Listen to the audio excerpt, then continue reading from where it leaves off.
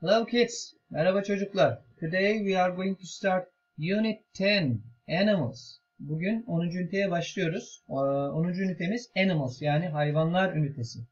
First of all we are going to learn the names of animals. Öncelikli olarak hayvanların isimlerini öğreneceğiz bu ünitede. Let's start. Başlayalım. Horse. Horse. Donkey. Donkey. Cow. Cow. Goat. Goat. Sheep. Sheep. Duck. Duck. Lion. Lion. Elephant. Elephant. Monkey. Monkey.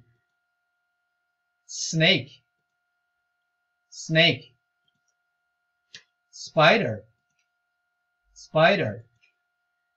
Secondly, we are going to learn some actions. İkinci olarak da bazı aktiviteler, İngilizce bazı eylemlerin e, isimlerini öğreneceğiz. Let's see, görelim. Swim. Swim. Run. Run. Walk. Walk. Jump. Jump. Lie. Lie. Let's go on. Climb. Climb. Peki bu hayvan isimlerini ve bu eylemleri neden öğrendik? İngilizce'de becerilerimizi, yapabildiğimiz şeyleri nasıl anlatacağız? Bunun için öğrendik. Nedir becerilerimiz? Mesela yüzebilirim, koşabilirim ya da bir e, maymun ağaca tırmanabilir gibi cümleleri İngilizce nasıl kuracağız? Bu eylemleri e, kullanarak anlatacağız bu sunumumuzda, bu videomuzda. E, let's go on. Devam edelim. I am a horse. Biz bunları hayvanların dilinden onlar konuşuyormuş gibi anlatarak başlayacağız. Sonra ünite devamında farklı örneklerde vereceğiz. I am a horse. Ben bir atım. I can run. Bakın şu kelimemiz yeni. Can. I can run. Koşabilirim. I am a lion. Ben bir aslanım. I can't fly. Can't. Yapamamak. I can't fly. Uçamam. Peki. Biz bugün ne öğreneceğiz? Çocuklar biz bugün ilk olarak can ya da can't. Can, can't yapısını öğreneceğiz. Bazen bu can't diye de söyleniyor. Bu da aklımızın bir kenarında dursun. Can yapabilmek demek çocuklar. Can't ya da can't de yapamamak demek. İngilizce'de becerilerimizi ya da yapamadığımız şeyleri can ya da can't yapısını kullanarak anlatıyoruz. Örneklerimizi görelim. A dog can walk. Köpek yürüyebilir. It can walk. O yürüyebilir. Burada yeni bir kelimemiz var çocuklar. It kelimesi. İngilizce'de hayvanlar, eşyalar, cansız varlıklar için o anlamına geliyor. Burada köpek olduğu için biz a, köpek ismini kullanmadan o anlamında it kelimesini kullandık. It can walk. O yürüyebilir. Devam edelim. A snake can't fly. A snake can't fly. Burada bakın yapamamak anlamına gelen can't yapısını kullandı. A snake, yılan, can't fly. Uçamaz. Bunu şu şekilde de ifade edebiliyoruz. It can't fly. O uçamaz. Dogs can run. Dogs can run. Köpekler koşabilir. But snakes can't run. Ama yılanlar koşamaz. Çocuklar bir e, kişinin ya da birinin ya da bir hayvanın becerisini anlatmak için illa tekil olması gerekmez. Çoğul olsa da can'i aynı şekilde kullanabiliriz. Dogs, köpekler can run, koşabilir. But snakes ama yılanlar can't run, koşamaz. Bakın bu şekilde de cümle kurabiliyoruz. Burada bir bağlacımız var. Yeni bir kelime. But diye okunuyor çocuklar bu kelime. But. Ama anlamına geliyor. Zıt cümleleri birbirine bağlamak için kullanılıyor. Bir örneğimiz daha var. Horses can swim. Atlar yüzebilir. But lions can't swim. Ama aslanlar yüzemez. Şimdi biz kendi becerilerimizi anlatmak için de bu can yapısını kullanacağız. Burada sadece cümlemizin başında I yani ben anlamına gelen kelimeyi, kelimeyi kullanmamız yeterli. I can swim. Ben yüzebilirim. Burada çarpı olduğuna göre bu eylemi yapamıyor olacağım sanırım.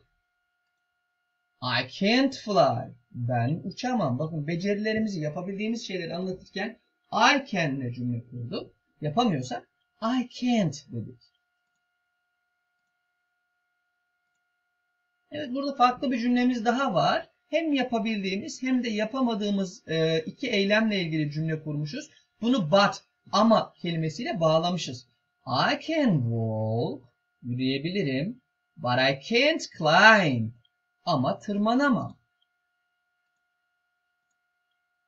Can questions yani can'le ilgili sorulara bakalım çocuklar. Bir kişi, bir e, hayvan ya da birisi bir şeyi yapabiliyor mu? Nasıl soracağız? Ve buna nasıl cevap vereceğiz? Bakın örneğin bu köpeğin yapabileceği bir şeyi soracağız. Can a dog run? Köpek koşabilir mi? Çocuklar can'le soru soruyorsak birisi, bir şey, bir hayvan bir şeyi yapabiliyor mu? Bunu soruyorsak can'i yani yapabilmek anlamına gelen can kelimesini cümlemizin başına alıyoruz. Can a dog? Köpek yapabilir mi? Neyi yapabilir mi? Run. Köpek koşabilir mi? Cevabımızı görelim. Yes, it can. Çocuklar eğer bir hayvandan bahsediyorsak yine it kelimesini kullandık bakın. Yes, it can. Evet yapabilir. Can a horse fly? Yine can'le başka bir sorumuz. At uçabilir mi? Nereden anladık? Can var burada. Burada da fly kelimesi var. Can a horse fly? At uçabilir mi? Cevabımıza bakalım. No, it can't. Demek ki can'le bir hayvanın yapıp yapamayacağı bir şey soruyorsak cevabımız evetse yes it can, hayırsa no it can't olacak. Şimdi devam edelim. Can monkeys climb? Çocuklar dikkat edin burada tek bir hayvandan değil monkeys buradaki esekli biliyorsunuz hatırlayın çoğaltıyordu. Can monkeys climb? Maymunlar tırmanabilir mi? Cevabımızı görelim. Yes they can.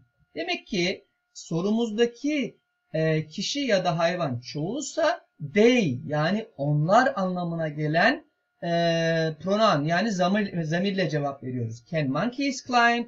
Yes they can. Maymunlar e, tırmanabilir mi? Yes they can. Evet yapabilirler. Can lions fly? Burada da aslanlarla ilgili bir soru soruyoruz. Can lions fly? Aslanlar uçabilir mi? Cevabımızı görelim. No they can't. Hayır yapamazlar. Bakın yine they kelimesini kullandık ama cevabımız olumsuz olduğu için can't yapısını kullandık. Demek ki birden çok kişi ya da hayvan için soru soruyorsak, bir şeyi yapabiliyor mu diye soruyorsak can'le yes they can olumlu cevabımız, no they can't olumsuz cevabımız. Peki bu soru karşımızdaki kişi içinse yani bir arkadaşımıza örneğin bir şeyi yapabiliyor mu diye soruyorsak nasıl soruyoruz? Sorumuz şu şekilde bakın. Can you? Yapabilir misin demek çocuklar. Örnek olarak jump fiilini kullanmışız.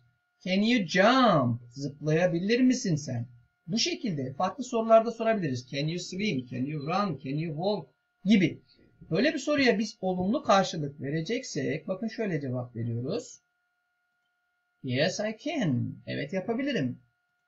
Olumsuzsa cevabımız No I can't. Hayır yapamam. Demek ki can you ile bize bir soru sorulursa cevabımız evetse yes I can.